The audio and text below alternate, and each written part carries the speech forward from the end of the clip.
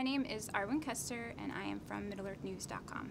Richard Armitage, I, I wanted to talk about a little bit about Orcrist, and I wanted to ask about how it was to train with Orcrist, especially since you had to wear prosthetic hands and everything like that. How was that?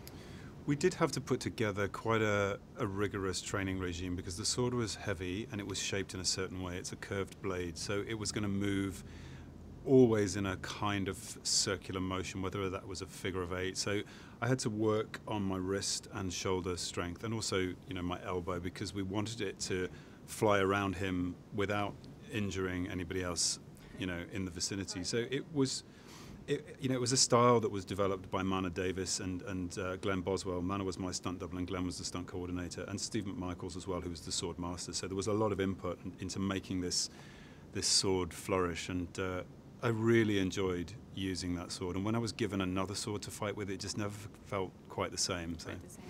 And Peter Jackson did give that to you right at the end. Did you get that as a as your farewell gift? Uh, yes, I did. I was I was gifted one of one of the swords. Yeah. That's pretty awesome.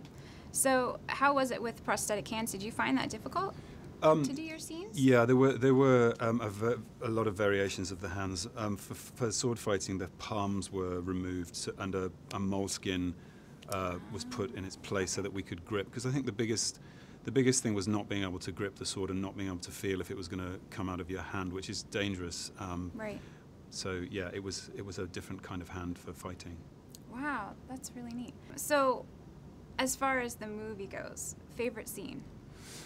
I think um, it's very hard to, to say. I mean, today I think my favorite scene is is when Thorin meets Thranduil and um, they kind of face each other, and Thorin really tells him the the pain and misery that his lack of intervention caused when they were when they were exiled from the mountain the first time, and I think he's carried that anger with him, you know, uh, for a long time, and he gets a chance to give it voice, and he says to him, "Imrid amrad ursul," which means dire death of flames, which mm-hmm. from a dwarf to an elf is a, is a really serious curse. He's saying, "I hope a, a dragon." wreaks havoc on your people also. Um, and I think from that moment, Thorin has released some of his burden that he's been carrying, which is why you start to see m- more moments of joy come come through him when they open the door. Um, uh, but it's going to spiral into a little bit more of a darkness in yeah. movie three. Well, thank you very much. I appreciate talking with us. you're, very, you're very welcome.